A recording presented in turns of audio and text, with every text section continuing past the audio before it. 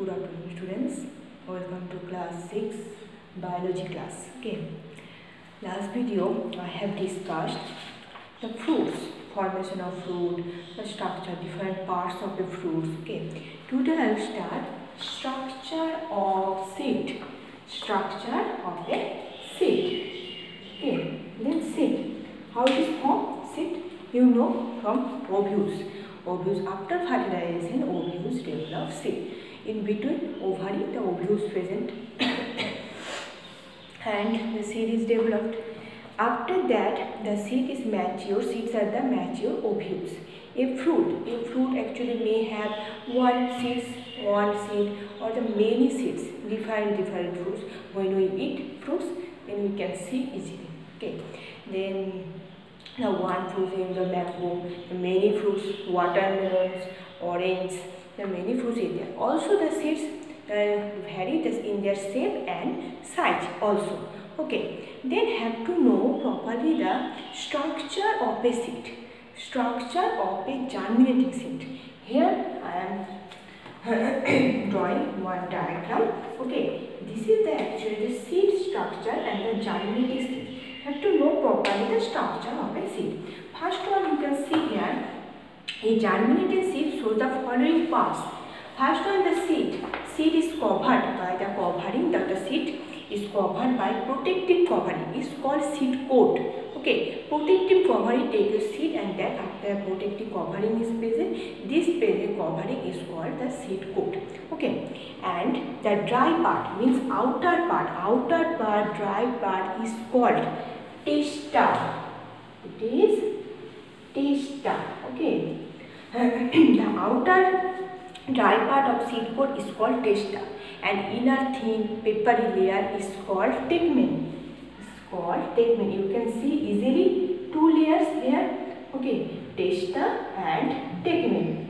I hope it is clear. The two seed coat there is an outer layer is called testa, inner it is the tegmen. Okay. After that the embryo or the baby plant consists of a thick and thin-like structure is called the cotyledon. In between the seeds, actually the embryo is present in between the seed and from this embryo actually is called also the baby plant. When means that when the embryo is developed, they become grow a new plant. This is in the embryo, embryo is a leaf-like structures leaf-like structure this is called a cotyledons the lip-like structure is called cotyledons okay and here the stored the food for it is used during the early stage of germination. It actually store the food and it is used the early stage of when the stage of the germination. It is used.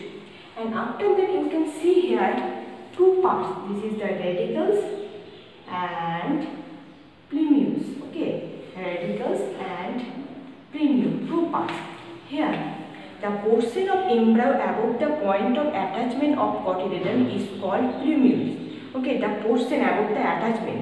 The portion means above point. Above point of attachment the portion of embryo the above part the embryo of the cotyledon the attachment part. This is called plumule and after that the plumule rise and to form a shoot system.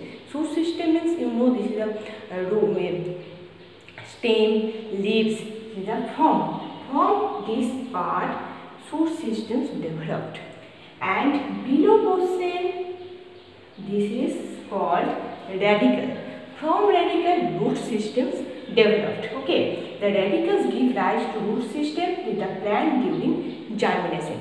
Means two parts the plumule and radicle plumule give to rise and to form a shoot system and radicle form root system i hope it is clear. The structure of seed very much important and also practice the diagram. The structure of seed and also very easy. Two layer and tegmen and the leaf-like structure present embryo which is the cotyledons and in cotyledons the above portion is called the plumule and the below portion is called radicle very much easy. Then the types of seed okay. On the basis of number of cotyledons present the seeds are following two types on the basis of how how many cotyledons present the basis of cotyledons is the two type seeds first one is the monocot seeds and the dicot seeds okay monocot means you know mono mono means one Okay, in the seed or the seed only with the one cotyledon, this is called monocot seed. What is the example? And have to give example. Example is most important. The rice, wheat, this is a monocot seeds and dicot, the two cotyledon present.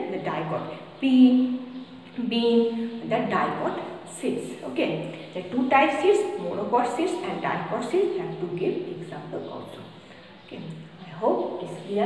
Again, you have any doubt, you can ask to Tenu. Okay, thank you.